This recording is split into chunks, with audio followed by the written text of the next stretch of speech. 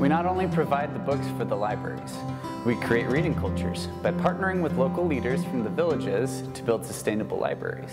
Village Book Builders also hosts a mentoring program where we partner an educated professional with a child that attends the library so they can keep their motivation to read more books and pursue an education. Every time a new library is about to be open, Village Book Builders organizes a 10-day service expedition for volunteers to help finish the library and do other service activities for the community.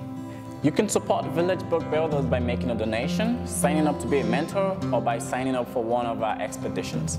You can also support us by following us on social media. Supporting this organization will help us to increase the number of libraries around the world and increase the number of books we have available in our libraries.